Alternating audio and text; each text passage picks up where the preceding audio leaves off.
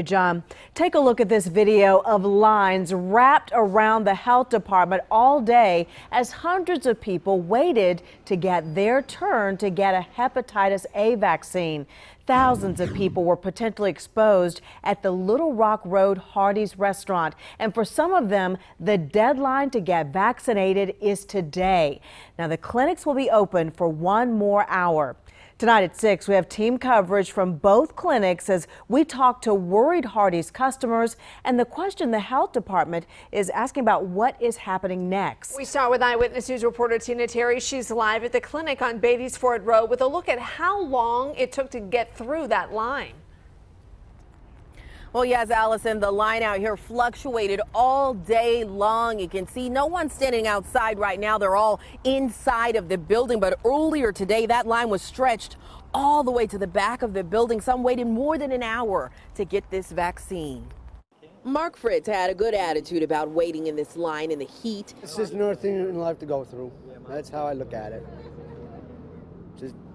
Just, just go with the flow. Others were livid. A good shot should be okay, but still it's aggravation of missing time from work. Michael Rapp ate at this Hardee's on Little Rock Road in West Charlotte. At the same time, an employee with hepatitis A was working there. Health officials say he became contagious as early as June 13th and worked through June 23rd. I won't go back there. I won't go back to any Hardee's. It makes me wonder about all fast food places, all restaurants. Many heard about it on the news and waited 15 minutes to an hour to get a hepatitis A vaccine. A friend of mine called and asked me if I heard about the uh, hepatitis deal going on at um, Hardee's, and I went, whoa.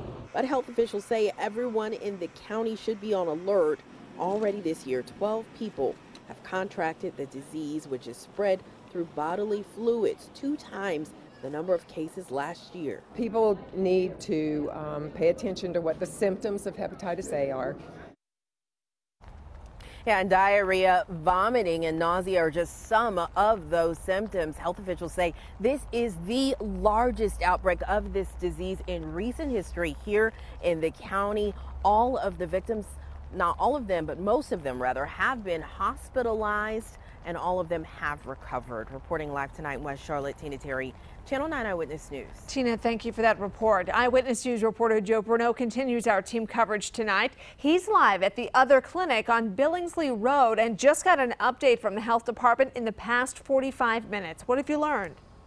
Well, Allison, I learned that 895 people received the hepatitis A vaccine today, but expect long lines at clinics like this one to continue because that's not even a quarter of the amount of folks the health department says are impacted by this. Health department leaders say they do not anticipate any shortages for supplies. The state has provided Mecklenburg with the vaccine. The county is providing the shot at no charge if you ate at the Hardee's on Little Rock Road between June 13th and June 23rd, or if you meet a risk factor.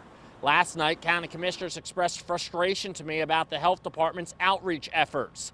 The county has yet to say what they are going to do differently and how they are going to notify people who ate at Hardee's and live out of state.